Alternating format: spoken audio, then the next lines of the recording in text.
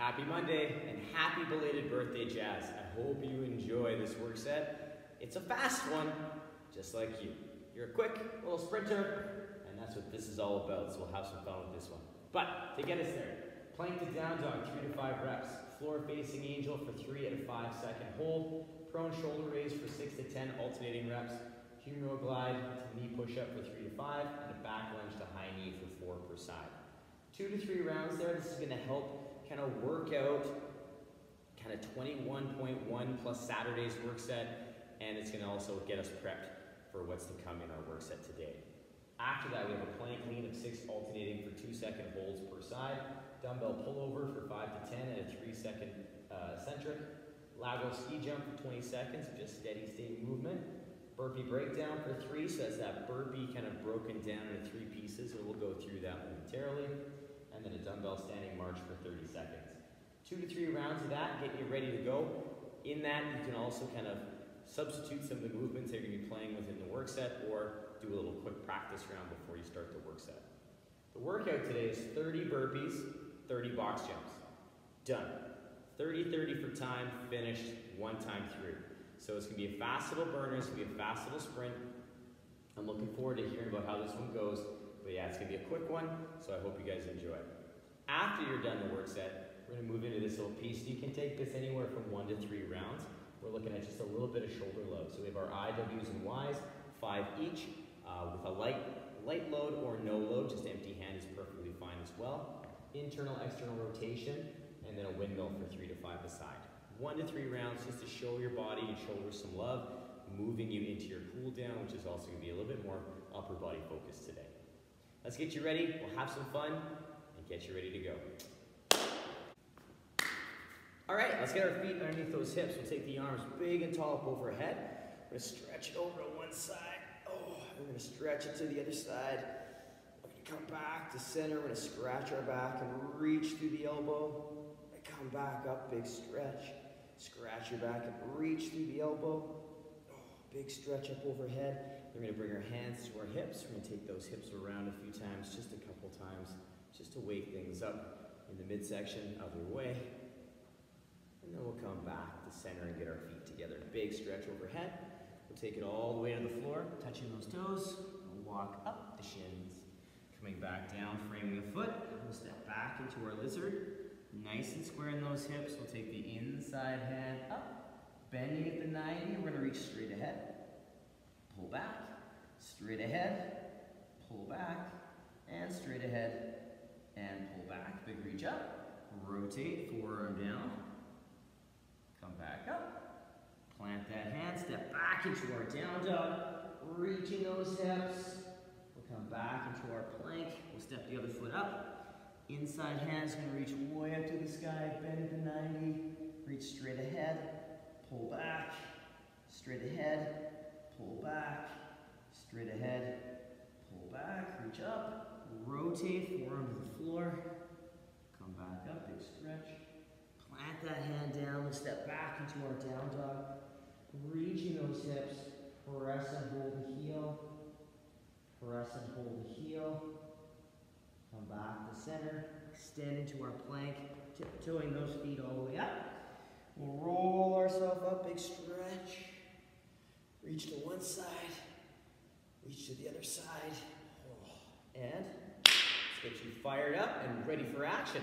We'll have some fun today. If you'd like to do some gentle warm up on your own still, you can. Pause the video, take that down, some thread the needles, cat cows, scap push ups are always a win. Please do so, and then come back and join me for our first phase of warm up. All right, our first phase of warm up is going to kickstart off with a fan favorite, our plank to down dog. So I'm going to get myself set up in that nice plank. Ribs pull in, shoulders press up to the sky. Establish that good plank position first. And then gonna set those shoulders, and as I pull back my hips into those knees and those ankles, my armpits are gonna stay facing those toes. I'm gonna set those shoulders nice and strong, and then I'm gonna come back into that plank. So I'm allowing myself to soften into those knees and ankles, depending on where I need to allow myself to go to get that nice angle on the and set those shoulders well. So allow those knees to be soft. Don't worry about keeping them super tight and straight. Allow them to soften so we can get that nice triangular hip action uh, going at that peak. From there, we have three to five reps. We're gonna lay on the floor for the next couple exercises. So we're gonna get ourselves set up on the floor. My hands are gonna be beside my chest, and I'm gonna move into that floor-facing angel hold. And if you'd like to add in the humeral glide before this, you can. So if you'd like to add in that shoulder forward, shoulder back, just to set your position, I endorse it fully. It's always a good time. We're gonna pull our ribs and hips in, and we're gonna squeeze our shoulders together, lifting the hands up off the floor if we can, holding for five seconds, and then lowering and relaxing for a second. Then from there, we'll reset and do it again. I highly suggest taking a moment in between each of those reps just to disengage, reset the body position so you can get that core set, the shoulder set properly, so that we can get that nice smooth pull through the shoulders to lift those hands up. Don't worry if the fingers don't come fully off the ground or if it's really challenging to get that hand off the floor. I just want you to think about squeezing the shoulder blades so the hands come straight up, regardless of how high they come. So really focus on those shoulders pulling together to lift that elbow up and lift those hands up. After that, we're going to extend the arms and do very similar movement, but just a little bit different. So we're going to move back into that prone shoulder raise. So my toes are going to be together. I'm going to pull my ribs and hips in, armpits pressed down, palms pressed down. In this position, I am going to lift an arm, maintaining that hollow, and then lower, and then lift the other side, maintaining the hollow, and lower. I'm going to alternate back and forth six to eight, or sorry, six to ten reps. Now with this, we want to make sure our primary focus is that hollow position, so that pulling in of the ribs and hips, and those armpits pressing down to the floor. So we lift and hold that position. Very important, that is our primary focus with this movement. It's very easy to establish this hollow, and then as we lift our arm, break through the ribs. We want to make sure that we're nice and set through those ribs the entire time. Like the floor-facing angel hold, it's not about how high you get off the floor, it's about the engagement through the midsection and then lifting the arm from there. After, we're going to move into some pressing, and we're going to move into that humeral glide to knee push-up. So I get set back up on the floor, hands in the same position as they were for my floor-facing angel. I'm going to pull my shoulders forward to where I don't want them, and then I'm going to pull them back to where I do. My wrist is stacked under my elbow. I pull my ribs in. I press to my knees, keeping that good hollow position, and then I'm going to lower forward and down, keeping that engagement, and then release at the bottom. Once I get to the bottom, I'll reset.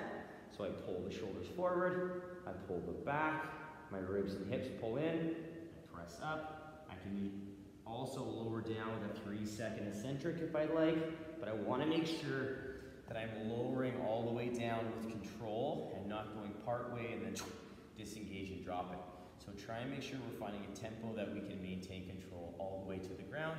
Once we're on the ground, then disengage, reset the tension, go again. After our humeral glide to knee push-up, we get to stand up a little bit. And we're gonna work our back lunge to high knee.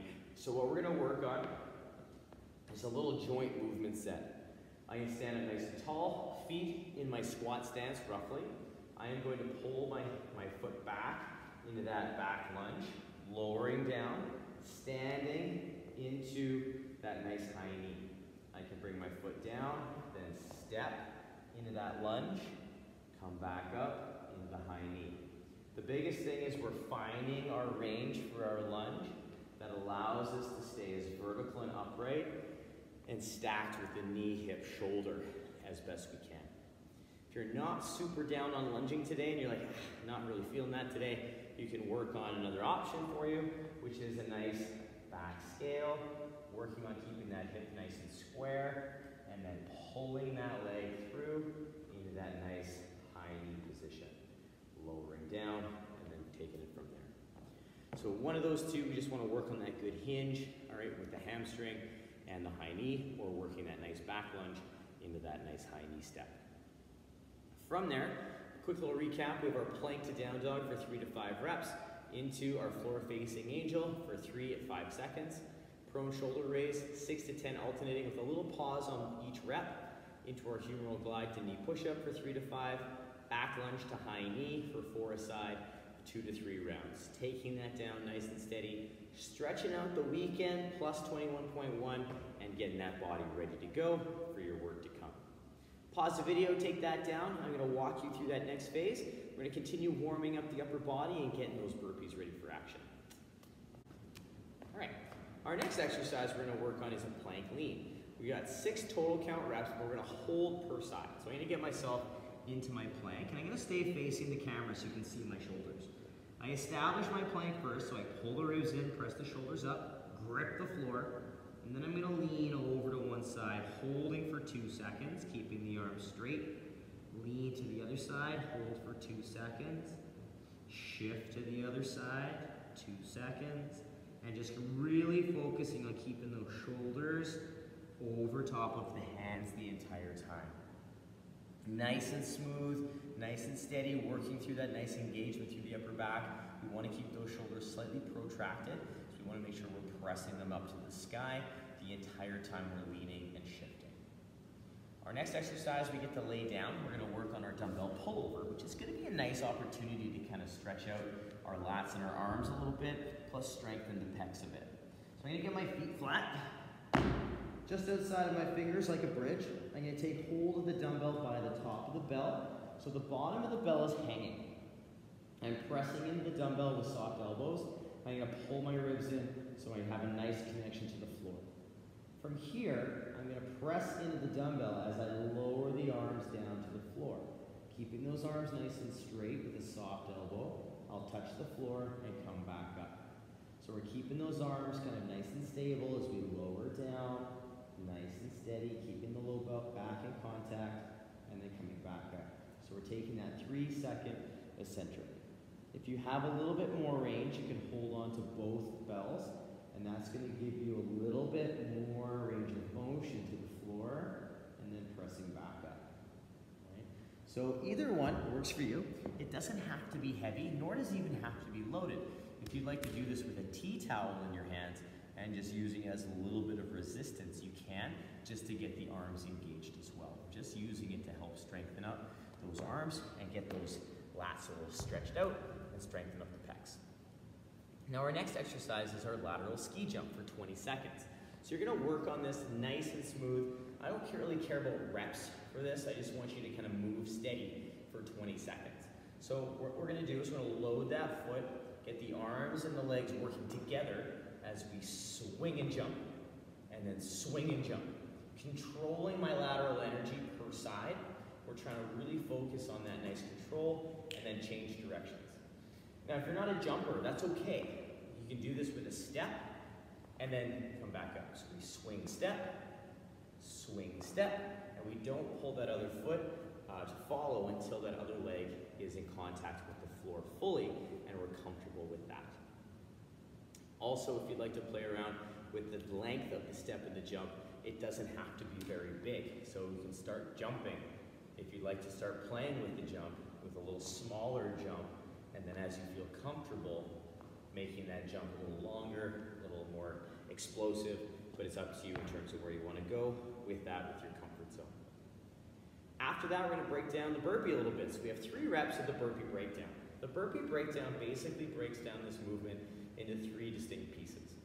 The first piece is the lower.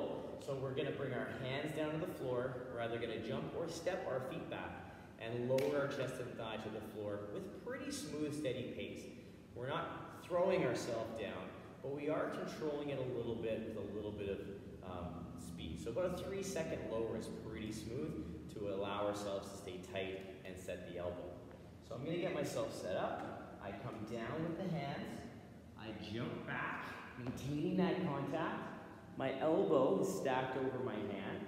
My shoulders are pulled back and my ribs are in. The next phase is a press to the knees. So I'm still in my hollow, so all those pieces of the humeral glide to knee push-up ring supreme in here. And then I'm gonna jump. So I'm gonna pop and jump my feet to my hands. Stand tall, repeat. So again, we're trying to get our feet flat, close to the hands in kind of a squat stance. Don't worry about trying to bring your feet too close together when you're jumping your feet in, because that requires a ton of mobility and it can really put a, challenge on the ankles for us if we, if we don't have that mobility. So again, just a couple things to think about. As I come down, I jump or step back, I maintain tension, my shoulders are pulled back, my elbows are strong. I push, maintaining my core, my hands are under my shoulders, my knees are still on the ground, I'm gonna pop my feet in, flat feet, stand tall. So it can be a little checklist for yourself. You don't have to hold in those positions for any allotted time, but just enough time for you to experience, okay, my core is tight, okay, my hands are under my shoulders, elbows are still. Any of those pieces you need to think about, give yourself that moment to make sure that they're there, and if they're not, fix it. So give yourself that, that okay to fix that position for yourself. Last but not least, we get to stand up. We're gonna work a dumbbell standing march. And we're gonna do this any way you'd like. So you can hold on to two dumbbells, a single dumbbell. You can hold it at the suitcase, the front rack, the overhead, the goblet, the zercher, whatever you would like to do for this. I would like you to explore those options for yourself. And what we're looking at, I'm gonna turn to the side. We're looking at that leg that's balancing nice and strong. So we're not letting that leg cave as we lift that other knee up. So I shift my weight, that leg is strong, I'm squeezing my glutes to help stabilize that knee that's balancing, and I'm just gonna work back and forth for 30 seconds. The speed is up to you, but I want you to make sure that you're trying to stay mobile for 30 seconds, so you're moving constantly. So the speed is not super important to be going fast, nor slow. Just find the pace that works for you to continue moving for that 30 seconds. Just firing up those legs and hip flexors, getting things ready for what's to come. As a quick recap, we have our plank lean, six alternating, two second holds per side. Dumbbell pullover for five to 10 at a three second hold, uh, sorry, three second negative on the way down. Lateral ski jump for 20 seconds. Burpee breakdown for three. Dumbbell standing march for 30 seconds, two to three rounds. Pause the video, take that down, get yourself ready to go. We're gonna move into a couple of the movements in our work set to give you some options and have some fun with them. All right, so our movements in the workout, what we have, we have 30 burpees and 30 box jumps. So I'm just gonna go over a couple things with the burpee. We did the burpee breakdown, which is gonna cover all the pieces that we need. I'm just gonna show you two burpees at speed with the step and the jump. So our full burpee, nice and smooth without the pauses. We come down, chest guy, come back up. Or we come down, step, chest thigh, step up, and rock it. Or any combination of those. You can step back, jump in, jump back, step in. Whatever you need to do, do so. Have some fun with those burpees and uh, take them down. Focus on those key points of performance in our humeral glide to knee push-up, trying to maintain them as much as we can, especially the core engagement, because that helps stabilize the shoulder. Now, our other option, if you're looking at me going, nope, nope, no push-ups for me today, you're looking at a squat thrust, which is basically the burpee without the push-up. Feet go out, feet come in, or hands come down, step it out, step it in, or any combination of those things. A few key points to think about for that squat thrust, making sure the hand stays under the shoulder, the shoulders are good and strong, and that core is engaged so we don't get the sway hip and the sway back. We want to make sure we're nice and stable and that shoulder stays over the hand.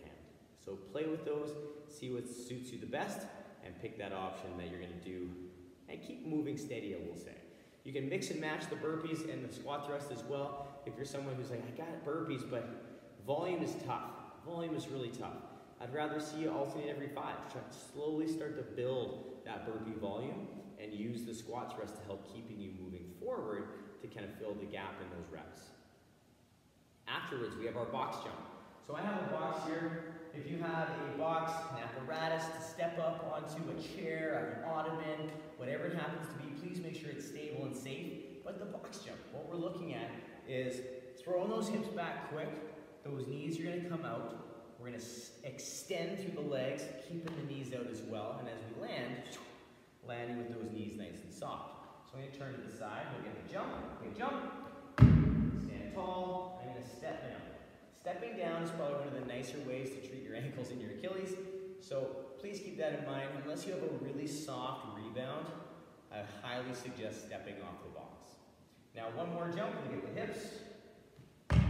Stand, opening up the hips and knees, step. If you have an apparatus and you're not comfortable jumping on it, what you can also work on is the step. So we fully extend that leg and hip at the top of that step. You can also work on the lateral step over, side to side, working on that good knee alignment and some lateral movement. I love those things. They always get a bad rep because they, they seem easy, but whoo, they burn. They burn a lot. So never shy away from that, especially if you want to work on some lateral movement, if that's something that's not super strong for you. That's a nice place to play with that. So it's a really nice option for you. But if you're going to do it, don't worry about bringing the foot down in between reps. Keep the foot up so we keep that nice knee alignment and it gives us a chance to work on our ankles. All right. Also, we have a few other options if you'd like besides the box options. I'll put those on the workout description. One of which being a jump squat. So we get that good squat, we drive, and we land. So we're just leaving the ground a little bit, getting that explosive hip. We can also work on the tuck jump. So I get that good hip back. I extend vertical, all right? Bringing my knees to my chest, landing soft, and then continuing the next rep. These are not about rebounds. These are all about individual jumps, working on that explosive hip and that soft um, landing, so absorbing the impact. On the other side, we have our broad jump. So if you have space, you can work on that horizontal jump, working on that nice long jump or short jump, but landing with that good soft absorption with the knees out and trying to land like a ninja, super quiet. So a couple different options. Check the bottom of the workout description. I'll have more down there for your box jump options, but it really depends on what you have access to at home. Pause the video, take down the workout, you guys. Have fun with this one. It's a burner. It doesn't take very long. 30-30, done. One time, it's gonna be a good sprint. But remember, if you're doing jumps, make sure you pause, make sure you give you that moment so all of your jumps are accurate and stable. Pause it, rock it, come back. We're gonna talk about our uh, shoulder rehab, prehab after this. Our last little piece of the work set is a little bit of shoulder kind of love, we'll say. We'll just call it shoulder love, because that's what it is.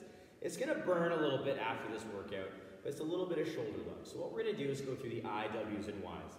And you can use this with light loading if you'd like, or, or empty-handed. But please make sure it's light loading, like two and a half pounds, one pound dumbbells, cans of soup, who knows, but nothing heavy, all right? None of that chunky soup because that gets super heavy on the arms. so make sure it's a normal broth-based soup. I'm just kidding. All right, whatever soup cans you got at home or tomato paste, whatever you got. But anyway, we get our feet set up in our hip width stance and I'm gonna hinge like I was gonna do a deadlift.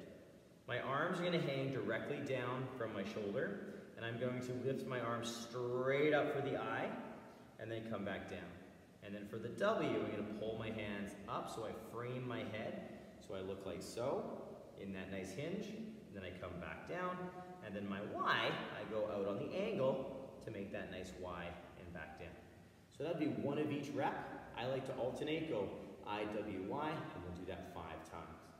So keeping in mind, just a quick look to the side for that hinge. Back is nice and set, just like a deadlift. Hands are just underneath of the shoulders.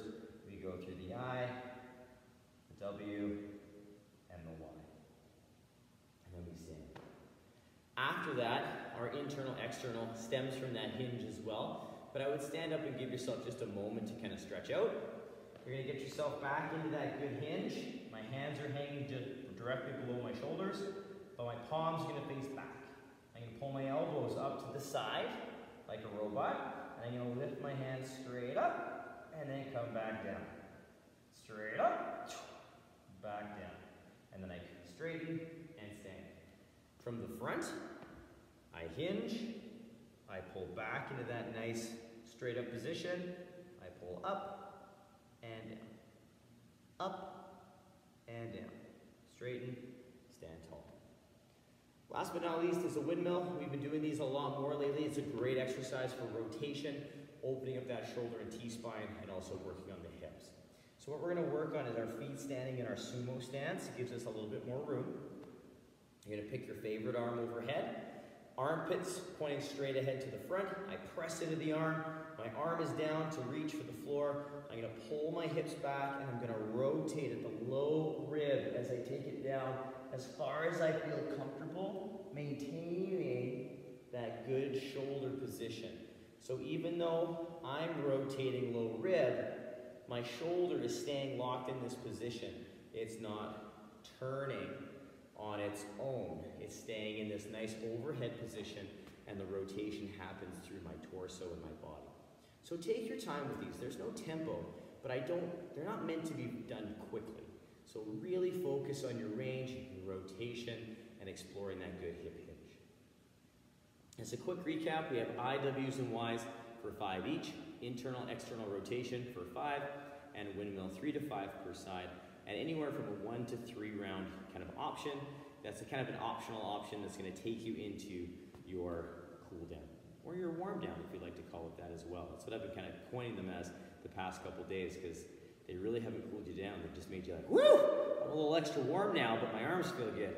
So I hope you guys have a fantastic time taking down this burner. Hope you extend your birthday celebration just a little bit there, Jazz, to today. I hope you had a fantastic day yesterday, and I hope this makes it a little extra special. Have a great day, everyone.